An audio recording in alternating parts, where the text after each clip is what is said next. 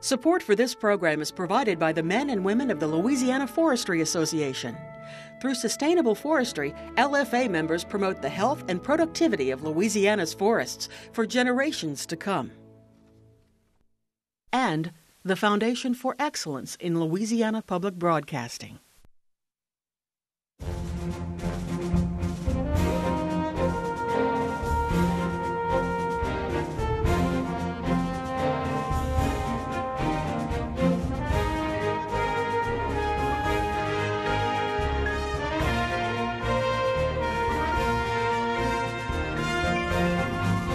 Evening and welcome to Louisiana Public Square. I'm Beth Courtney. And I'm Craig Freeman. October is observed nationally as Domestic Violence Awareness Month. We take the opportunity tonight to examine not only that violent crime, but the issue of crime as a whole in Louisiana. Well, crime touches each of us either directly through personal loss and a heightened sense of fear, or indirectly through declining neighborhoods and more tax money spent on prisons. So, how bad is the crime situation in Louisiana, and how do we compare to the rest of the country? And if we truly want to take a bite out of crime, where exactly do we need to start? Crime statistics in Louisiana reveal a disturbing pattern. While the country saw a 4% decline in overall crime from 2005 to 2007, the state's crime rate rose 12%. And despite an 8% drop in violent crime in Louisiana last year, nationally, New Orleans ranked first in murders per capita. While cities such as Shreveport and Lafayette saw their murder rate decline in 2008, Bossier City and Monroe saw increases, and Baton Rouge had 67 homicides last year but by September of this year, the number was already at 58. I really don't feel safe. I really don't. Erica is a Baton Rouge resident. A recent murder in her neighborhood has her concerned for her family's safety. I'm, I'm going to move. I can't live like this. I really can't. Erica is not alone in her fear. 41% of respondents to a recent survey by the Baton Rouge Area Foundation's City Stats Project say they don't feel safe walking alone at night in their neighborhood. Nearly 60% say they're more concerned about crime than a year ago. Very few of the, uh, the people that we have as victims of violent crime in the city of Baton Rouge, very few of them do not have criminal records. Baton Rouge Chief of Police Jeff LeDuff acknowledges the city's spike in murders, but notes that most law abiding citizens are not at risk. He attributes the recent uptick to two things drugs, and guns. When you see uh, drugs in your community, the next thing is to have guns involved with that activity. And uh, people are just more likely to, to solve. There's no conflict resolution uh, in our younger generation. And uh, the way they solve conflict is simply by pulling a weapon and, and discharging that round. The Gulf Coast High Intensity Drug Trafficking Area Task Force identifies cocaine and crack cocaine as the largest threat to Louisiana. Cocaine use contributed to 76% of violent crime and 62% of property crime in the task force's four state region of Alabama, Arkansas, Louisiana, and Mississippi. Sociologist Matthew Lee is with LSU's Crime and Policy Evaluation Research Group. I think one of the problems that we have in some of our urban areas, and uh, everybody recognizes this, including the, the, criminal justice authorities, is that the poor socioeconomic conditions often spawn um, illicit economies, um, drug markets. U.S. Census data places Louisiana's poverty rate of 17.3%, four points above the national average of 13%. Lee notes that the state's high rate of unemployment and school dropout further contribute to the problem. The, the real trick to, for sort of uh, uh, the criminal justice system and basically the social service system is to figure out a way to um, provide uh, communities the tools that they need to maintain, you know, a reasonable standard of living and uh, reduce the draw of participation in illegal markets. Domestic violence is another dangerous factor in the state's crime rate. President Obama touched on the issue at his recent town hall meeting in New Orleans. When it comes to domestic violence, oftentimes that's uh, underreported because women don't feel that they have the support they need uh, in order to step out from those situations. Louisiana had the dubious national distinction of having the most females murdered by males in 2008. This statistic is particularly troubling to Martha Forbes with the Capital Area Family Violence Intervention Center. Since the Department of Justice has been keeping statistics of the number of women killed by men, Louisiana has always ranked in the top five.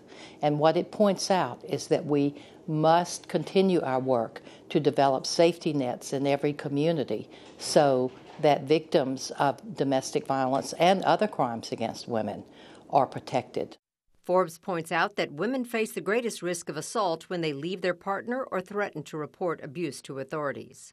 We must work together to talk about how violence and teaching violence as a potential solution of problems doesn't work. A recent summit hosted by the group 100 Black Men of Metropolitan Baton Rouge gave students an opportunity to do just that. Participants discussed ways to curb violence and truancy among teens. Their input will be incorporated into a media campaign targeting Baton Rouge's 56,000 young people. In Shreveport, a focus on the environment that breeds crime is having significant success, according to Police Chief Henry Whitehorn. The concept is that if you will allow uh, small nuisance crimes to manifest in, in certain neighborhoods, then the citizens begin to allow other things to happen. If you allow that broken window, then maybe you allow the trash in the street. If you allow the trash in the street, then maybe you allow the drug traffic to take place. Started in 2007, Operation Take Back Our Neighborhoods Every Day, or T Bone, partners officers with property standards inspectors to more quickly address blight related concerns. Residents are provided individual cell phone numbers for the officers and inspectors, which has fostered relationships that have reduced crime across the city. Overall, uh, for 2008, uh, we saw a reduction of about 14 percent overall in crime in Shreveport. Our violent crime was down uh, in double digit numbers, uh, and also our property crime. One large contributor to crime in Louisiana is the state's recidivism rate.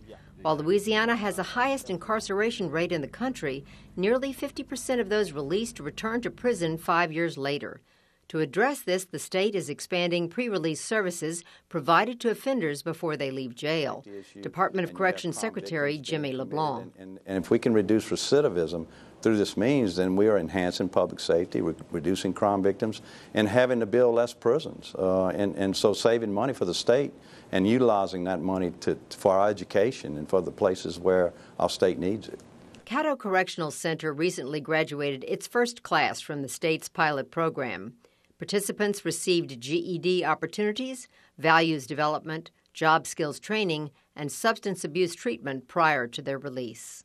I want people to understand that, that what we're doing is going to reduce crime. It's not being soft on crime. 95% of the people that come to prison are coming home. Uh, you know, lock them up and throw away the key is the easiest thing to do, but they're coming home. And we're trying to do a, a better job of who's coming home.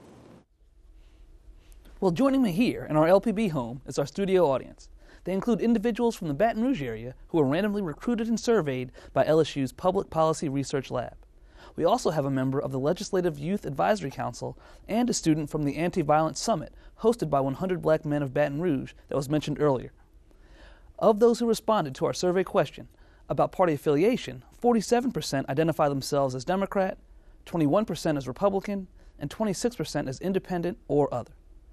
The majority of those surveyed, 74%, feel that there is more crime in their local community than a year ago.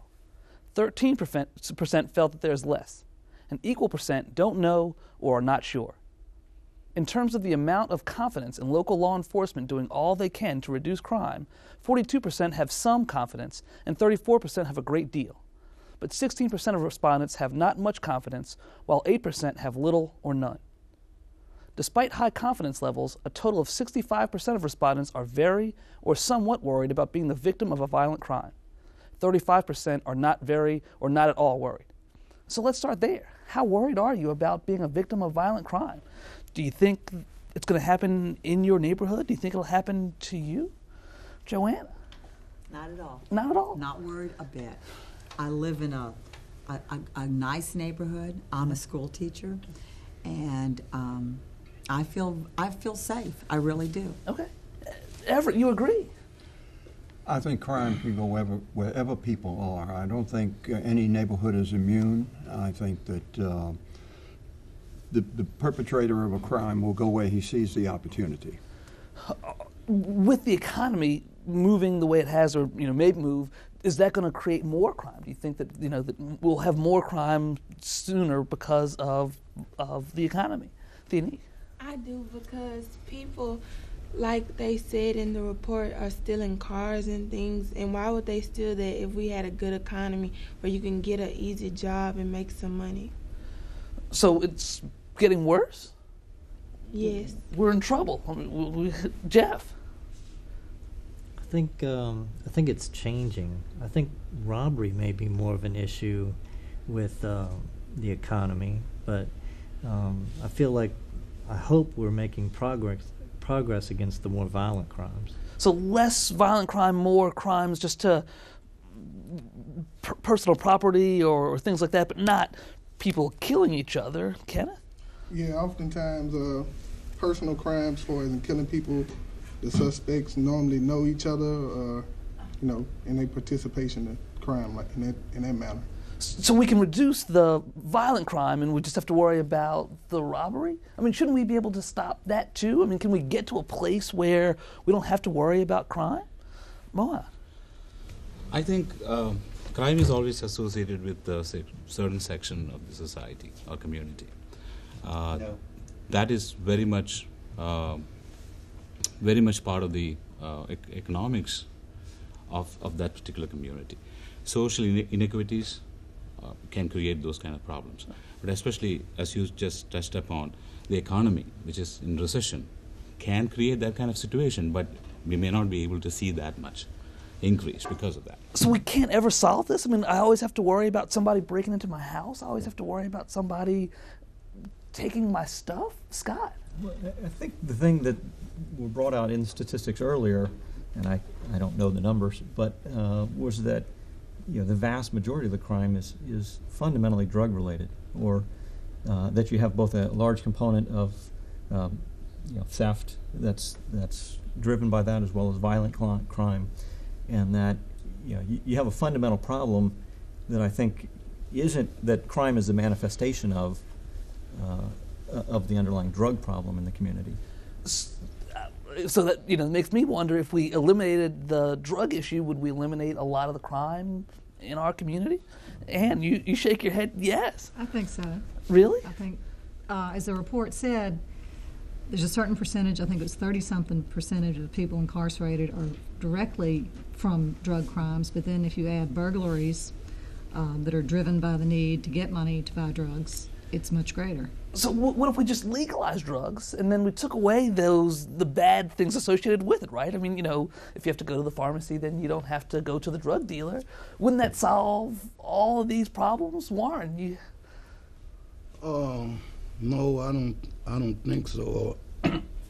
uh, the kids, well, uh, they they are not getting their edu- going to get the education or whatever, and uh, they trying to get the, the dollar quick or whatever. But I think. Uh, if law enforcement and the neighborhood could trust each other a little more, well, uh, we might could accomplish something. And w- earlier they talked a little bit about more community policing. Is that the answer? You know, you, you hear stories of people knowing the police officer that walked the beat, but you don't really see that as much anymore. Is that the cure? They haven't mentioned that anymore. Uh, that was a top priority when uh, the mayor came into office, but you just don't hear anything about it anymore at all. And I think uh, the crux of a lot of crime is that uh, the the public does not trust the police, especially the American uh, African American. I mean, distrust of the police is endemic in that population. Well, but if we can't trust the police, then how do we ever solve the, the problem, Andy? Well, uh, I, I, think uh, a, a, great deal of, of our problems are with young people. When they are incarcerated they have no no recourse of getting a job because that record remains on their record. They go out to look for a job, and as soon as they make an application, even if they tell a false that says I never was arrested or like, but when you work for a month or so, they still tracking your record, and they find that you do have a record, they're gonna let you go. So the relapse thing is the problem. When they and, and it's the young people who are uneducated, who when they are incarcerated, they have no recourse, and we need to look at giving them uh, expunging their record because the cost to expunge a record is tremendous. And poor person wouldn't have the funds to to correct his ways and that makes him go steal and kill and rob and go back to jail And so, if you're in jail, I mean, let me let me ask a different way: Would you hire an ex-con? Can Uh, I think like it should be a re- uh, rehabilitation process to the point where they could come out once they do that crime and they do the time to uh, access that crime. I think they should come out like a free citizen, but it kind of it kind of contradicts the First Amendment of freedom of speech because you really don't have no voice, far as in voting or getting a job. So it kind of contradicts. You don't have no voice. You're not really a human being. You know, you dehumanized. So, what can we do to humanize people more when they get out of jail? Is there anything that we can do, Ashland, to help them move back into society? Personally, I think they should have some programs or anything just to help them rehabilitate and help them get education and everything so they can get back into society and function as a normal citizen. I see that uh, to ha- to be a retailer, I'm dealing with a lot of younger kids uh, almost every day, and I see some few people that like quit uh, drug and stuff like that. Very shortly go back to it.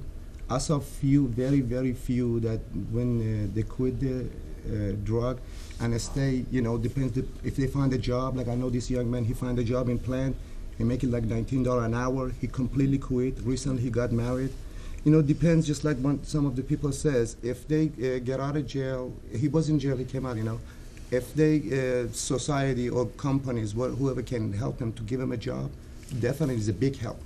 Oh, you know I'm dying. I'm a school teacher.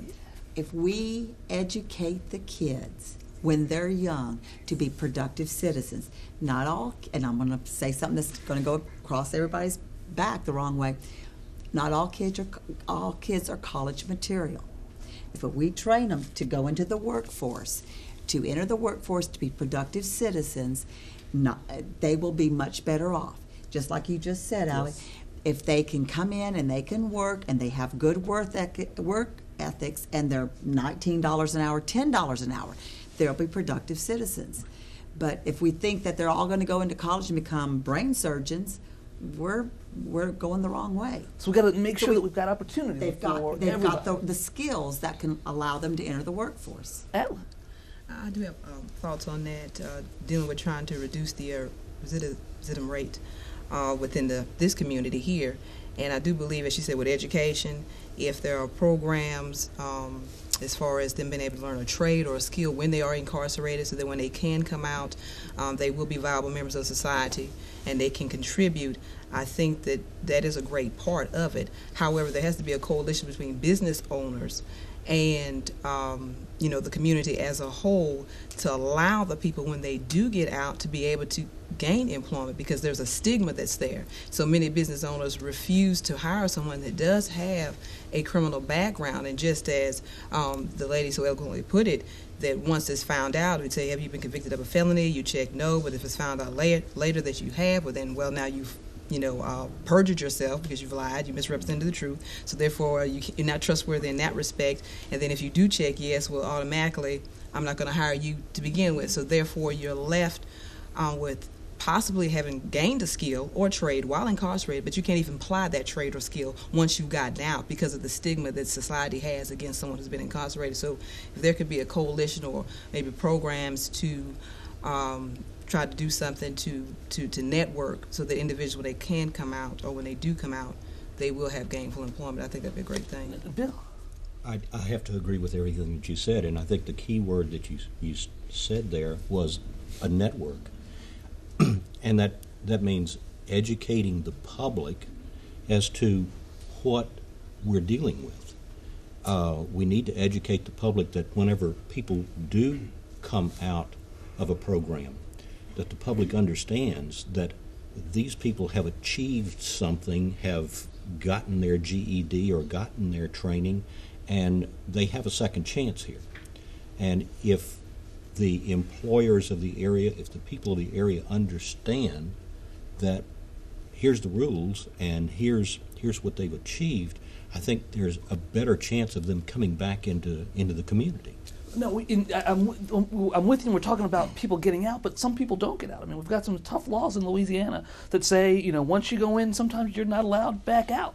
Do we need to change those laws, or, or are we comfortable if you are a murderer or, you know, a, a, a, a, perpetrator of a violent crime that you need to stay in jail for a long time? Derek. Uh, I think it might depend on the crime, uh, uh, murder or you know some really violent crime like that. I think uh, they need to pay for what they've done, but uh, uh, maybe theft, drug issues, whatever, they can possibly go into some type of rehabilitation program and get get on the right track. Well, I, I, know we've got some more to talk about, but we're going to get some people to help us answer some of these questions soon. And so when we return, we're going to be joined by a panel of experts to further discuss crime in Louisiana.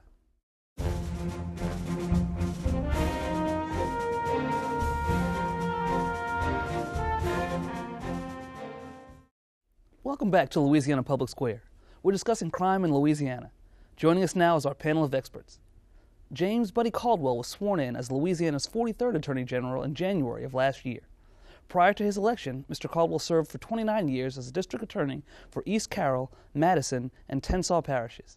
In 2008, he was inducted into the Louisiana Justice Hall of Fame. Cecile Guin has directed LSU's Office of Social Service Research and Development since 1996. Dr. Guin develops programs aimed at interrupting the pathway to delinquency and crime. Additionally, she is an expert in truancy and court qualified in adult criminality and the development of criminal personality.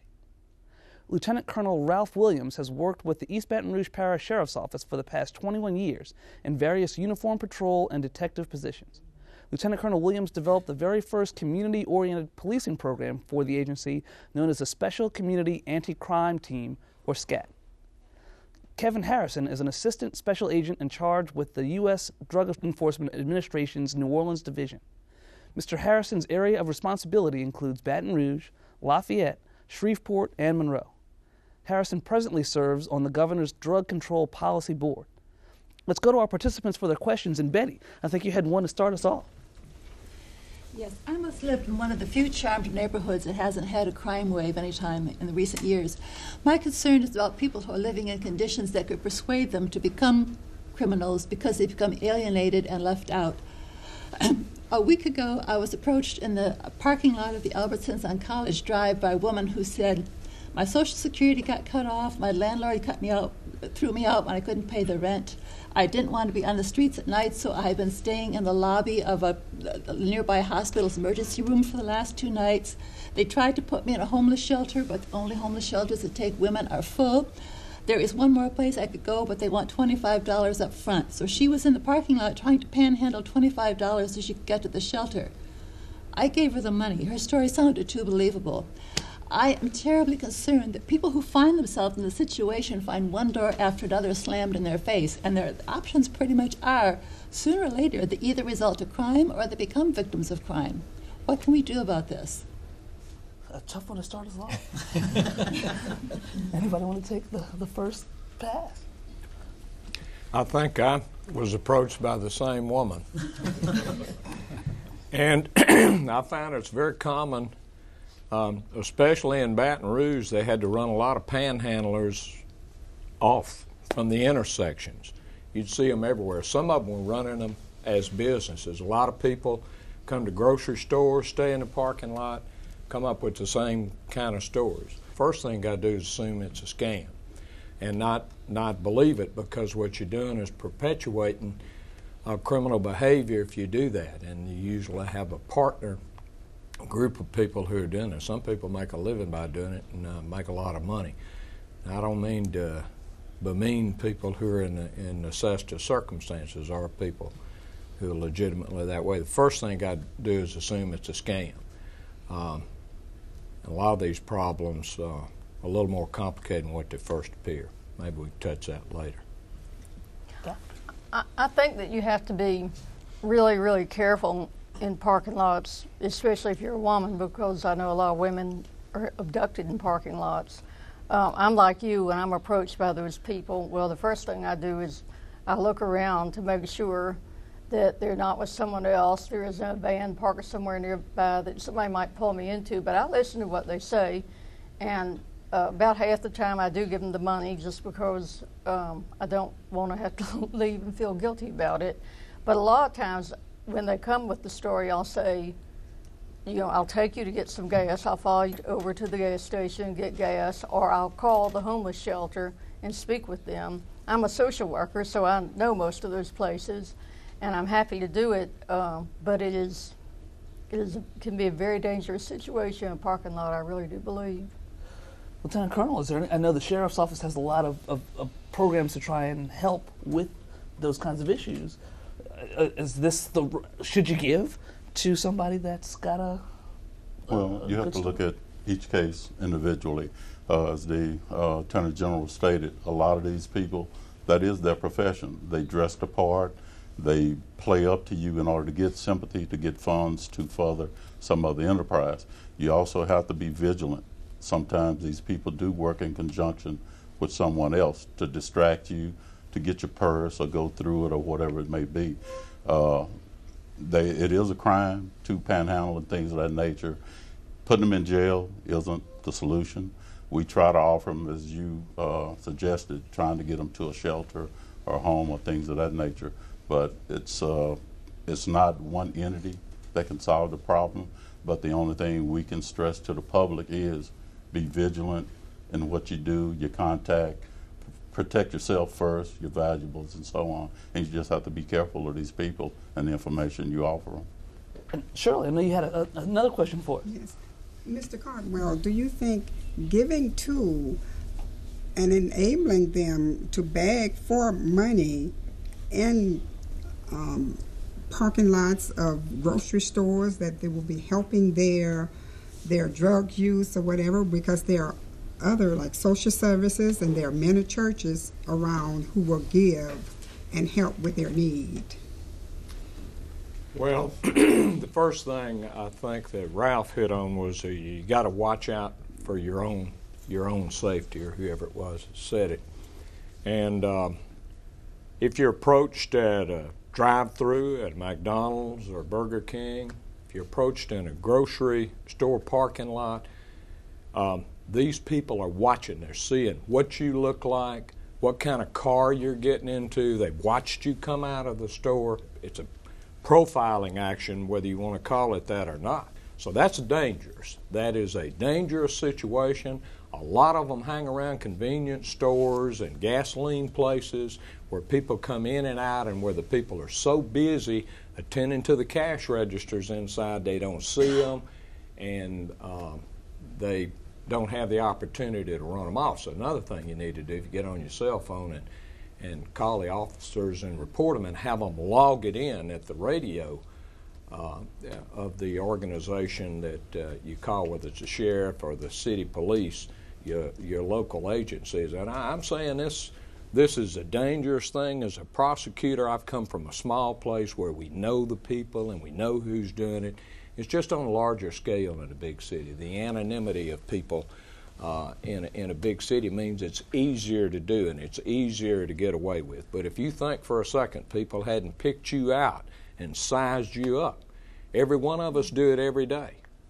We, you talked a little bit about communities and knowing what's going on in your community, and earlier we, we uh, had some discussions about community policing. You know, are there things that we can all do to help eliminate some of these problems in our community.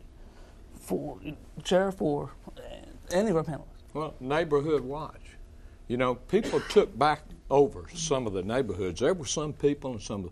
When you start seeing bars in the windows, you got yourself a problem.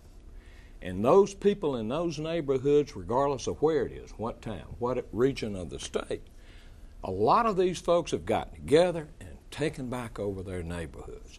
And I heard somebody say uh, previously somewhere in, in here that a lot of it is drug related. I prosecute the murders, the rapes, and the armed robberies myself personally for 29 years. And I dealt with the juveniles, the adults, the school system.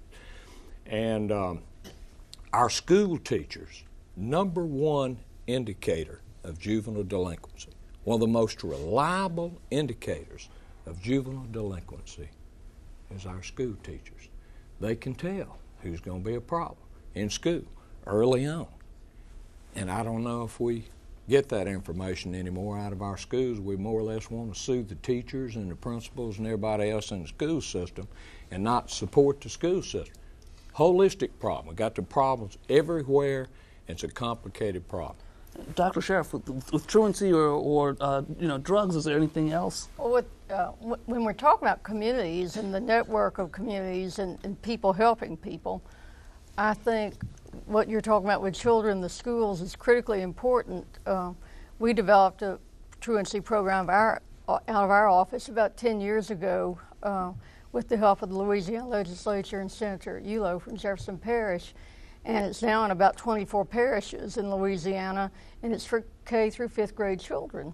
And what it requires, it, it's kind of a different program. It's very flexible funding, but what it requires is, you know, is little bureaucratic hassle for the school teacher to report that something is wrong with a young child. You know that they're either truant, uh, you know they're either not there after five days, they have five absences, or they're at risk for truancy. They see them sleeping or wearing, you know, dirty clothes or homeless type behavior, and and uh, and then the the task ta- the truancy caseworkers work with the child and the family and the family to help solve the problem. They don't just deal with it in a punitive manner. And I think you've seen in our own community here that uh, when the district attorney, new district attorney came into office, one of the first things that he decided to do was, was try to deal with the truancy problem because he knew the relationship between truancy and crime. And I know the relationship between truancy and crime just because of the work I've done with children that have been in the Louisiana uh, prison system, juvenile prison system.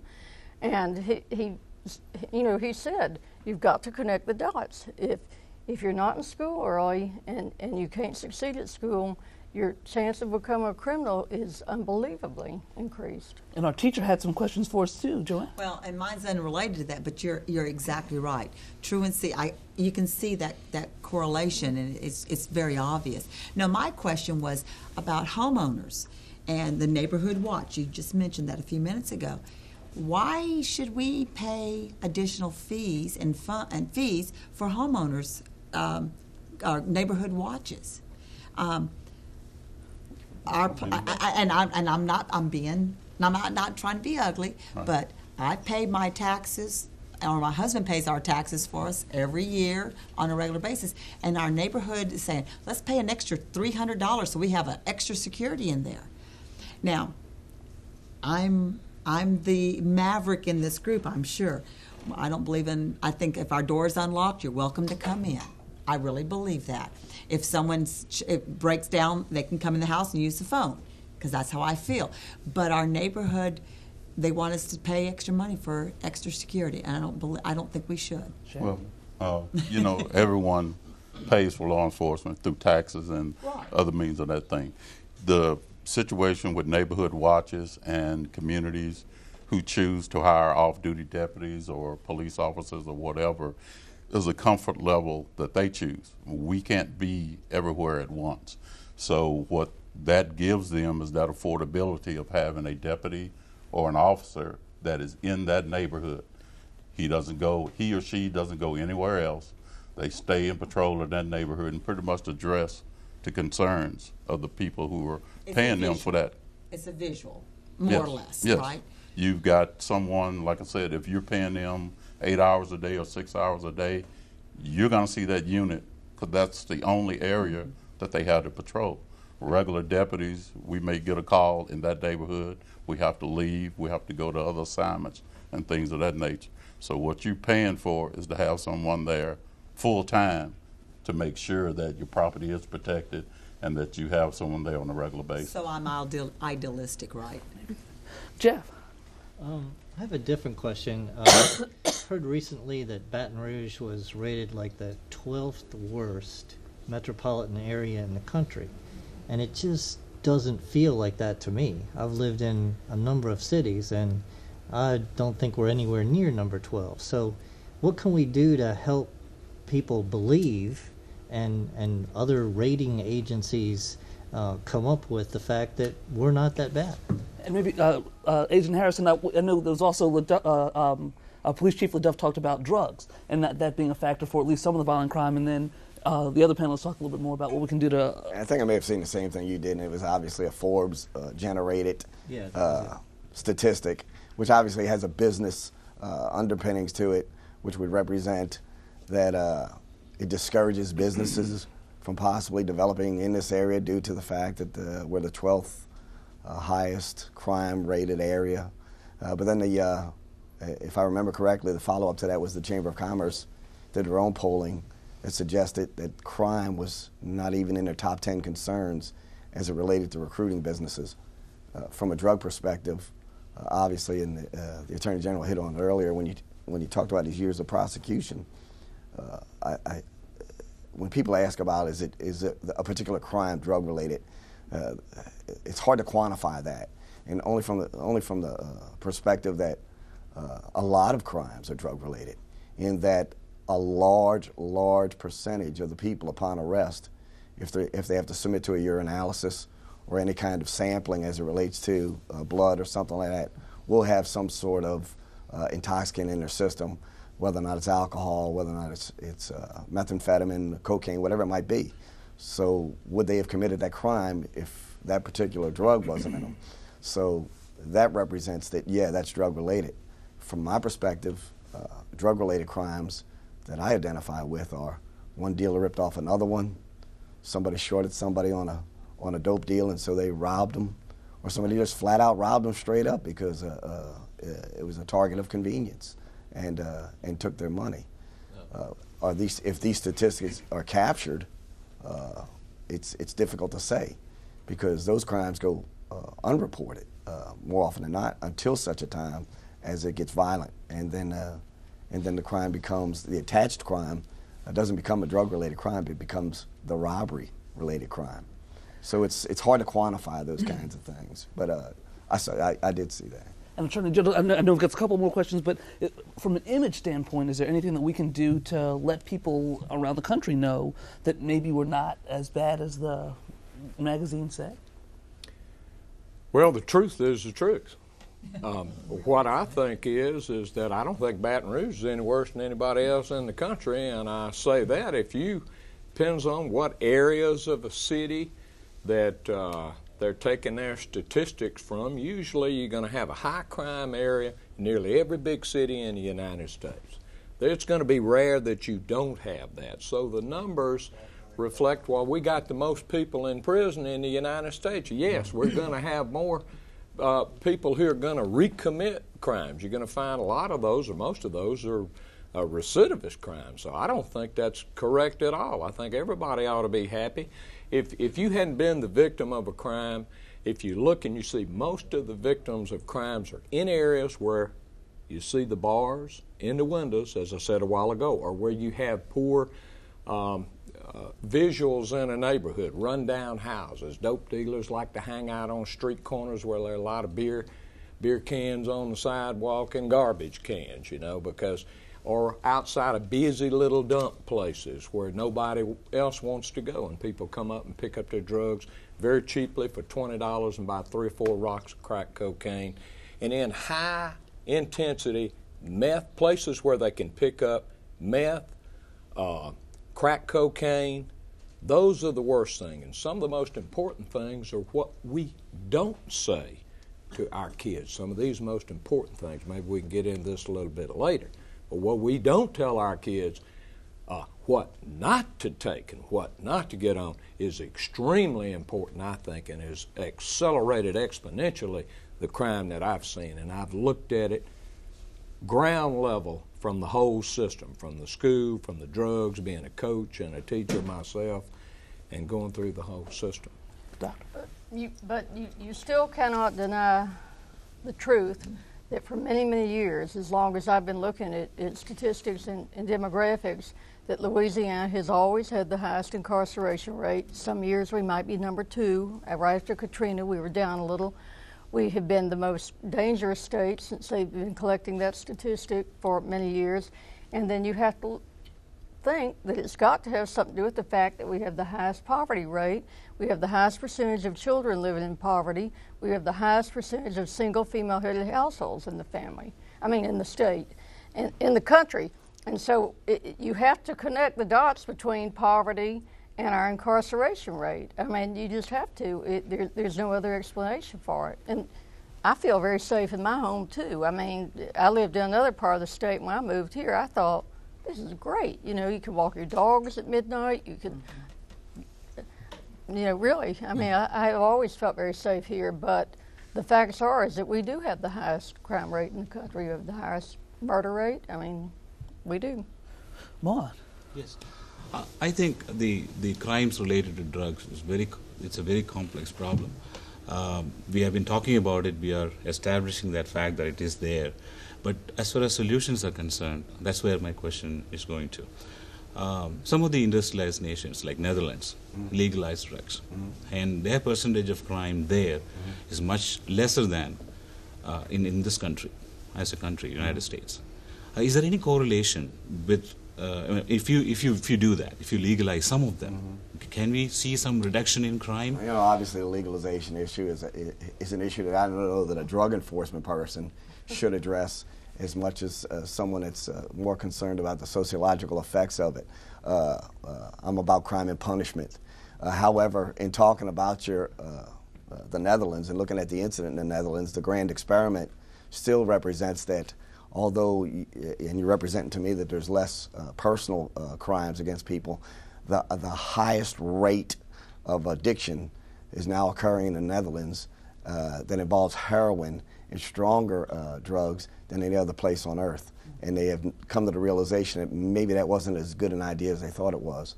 Obviously, in the, in the news recently, uh, we're all being exposed to the uh, medical marijuana uh, situation that goes on in California. And uh, uh, we received the Attorney General's opinion yesterday as relates to our enforcement efforts. And quite frankly, they haven't changed any. our enforcement efforts on a federal level will still be to target the highest level of traffickers uh, that we've always done. And if there are people engaged in that business out there, simply to go ahead and make money at it or to prey upon the, uh, uh, the misfortunes of others, uh, we'll continue to target those people. The legalization of drugs, I don't know that, I don't know that any society uh, wants to unleash uh, one more vice, one more addiction on, on, any society. I don't, I don't really know the answer to that. Can it be done? Uh, I don't. I don't know that we want to take that, that chance or that risk. I mean, I just don't know. I think that's the worst possible thing we can do. Uh, we got legal drugs. We got prescription drugs now. We got drugs that people start with their back hurting and can't get off of. I mean, everybody loves coffee. I love to have my morning coffee. I'm sure half the people here do. But we have drugs that are legal now that people are hooked on, and we see more and more of the prescription drugs being being sold, taken out of the cabinets. So you're, um, here's what I see and what I have seen is a very complicated, holistic problem we got, and you got to go solve each little problem separately and cumulatively to have any effect at all. This is not one little one size fits all here. Cocaine and crack cocaine.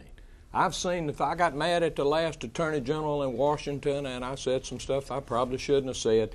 Why in the world are you letting, telling people that those who get on crack cocaine, one of the worst drugs we got, it's the same drug as powdered cocaine.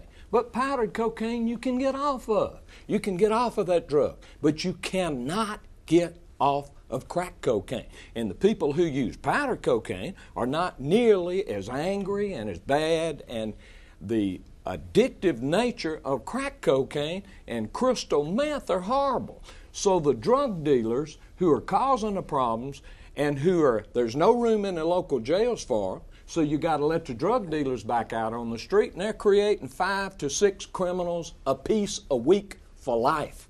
That's where the problem's coming from. And these are the people that I try for murder, for rape, for armed robbery. I have mothers giving away five and six year old children to get crack cocaine from their boyfriend.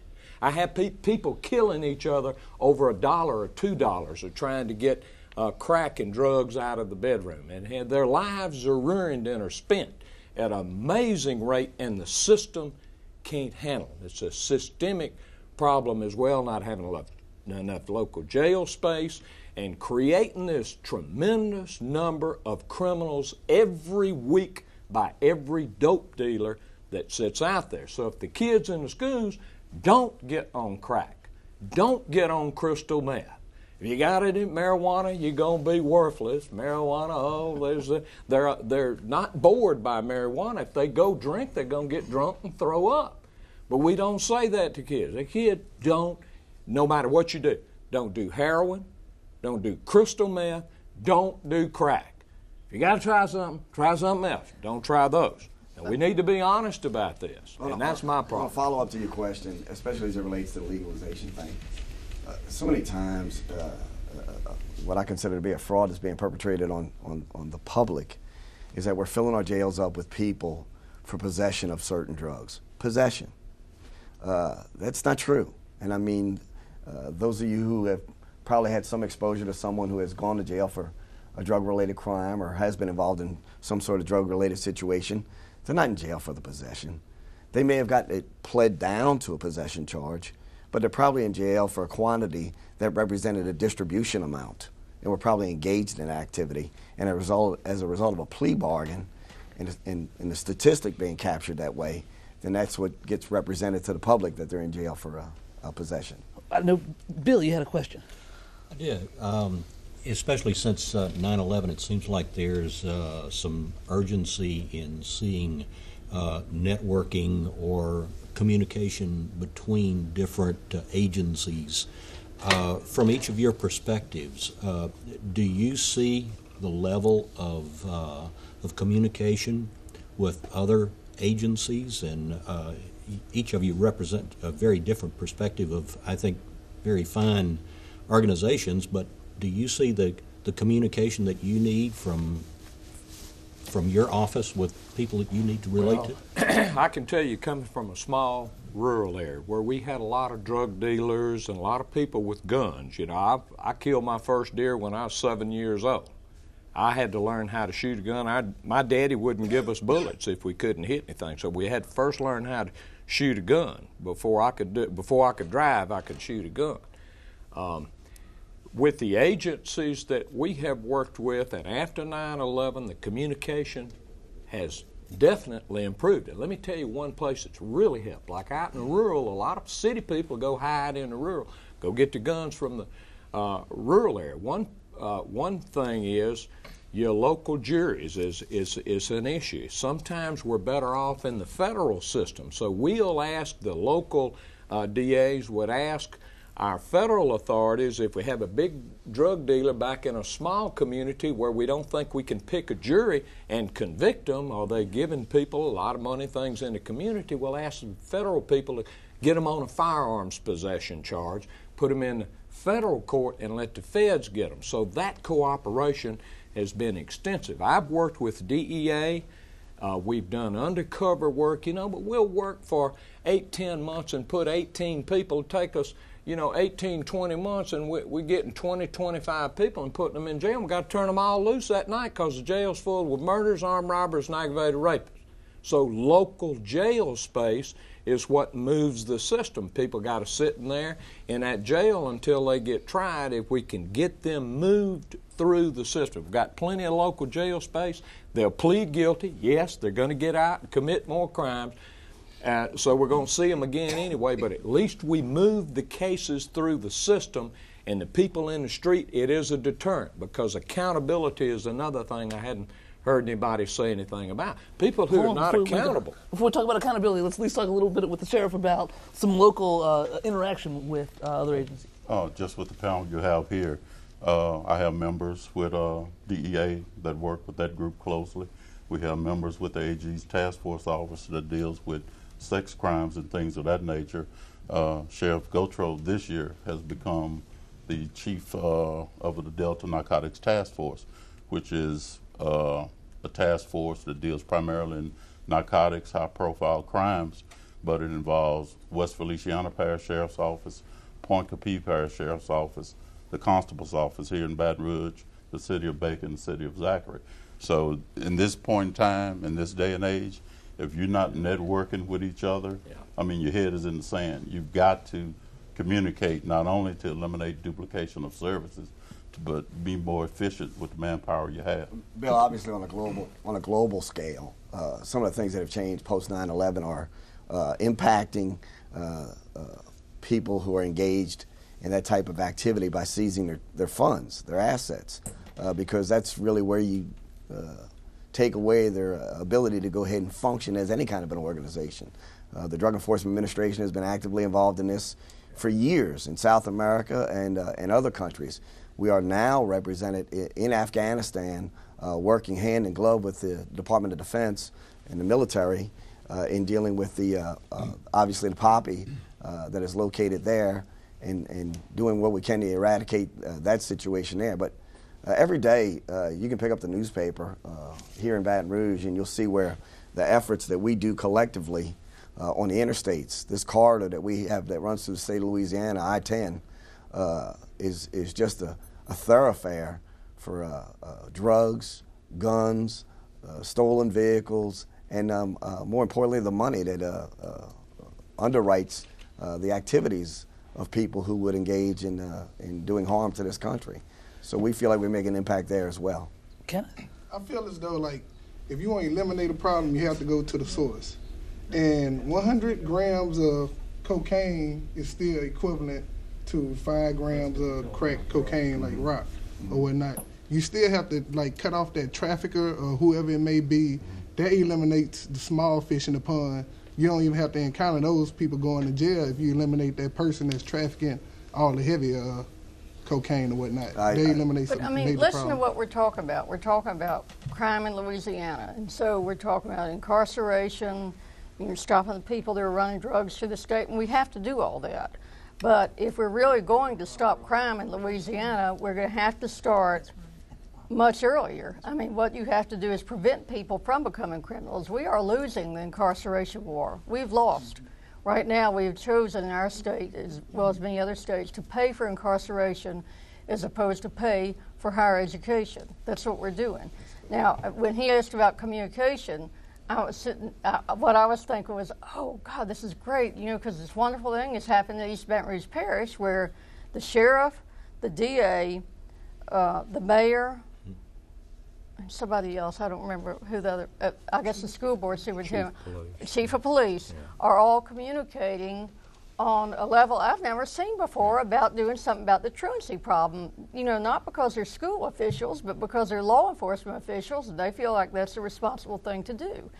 And, and so when they communicate about preventing crime, uh, and you, uh, I think when you saw um, earlier, we talked about Secretary LeBlanc with the Department of Corrections, where he's talking about preventing crime and preventing people from coming back to prison. That's the only way we're going to make I mean, I've watched statistics for 25 years uh, and, and dealt with young children that have grown up to become criminals and with the children of the criminals that y'all are talking about. And I know we have to do that. I mean, probably more than most people, but uh, I, we have got to really focus on prevention. and we've got to do it. And when, unfortunately, we're also losing the battle of time. And so uh, we've got more that we need to talk about. I know I knew there were a couple of questions here. Um, the good news is we can also always join online and ask some of these questions. And I know we'll be able to get some responses online. But we want to thank our panelists, Mr. Caldwell, Dr. Guin, uh, Colonel Williams, and Mr. Harrison. When we come back, we'll have a few closing comments.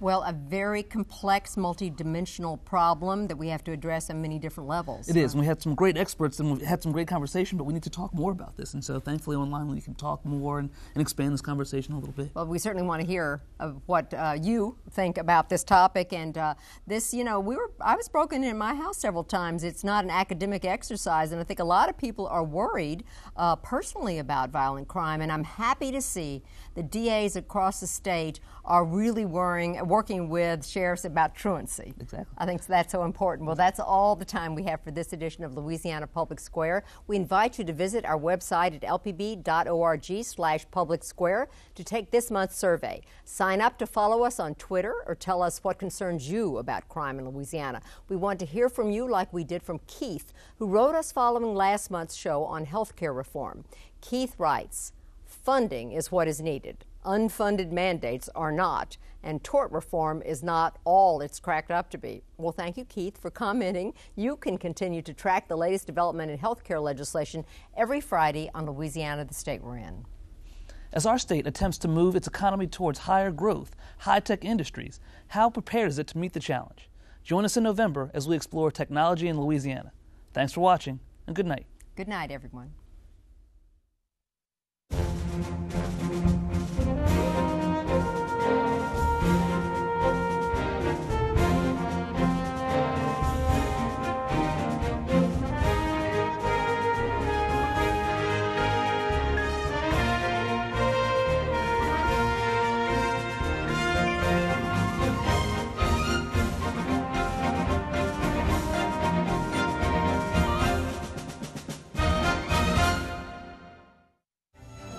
For a copy of this program, call 1 800 973 7246 or go online to www.lpb.org.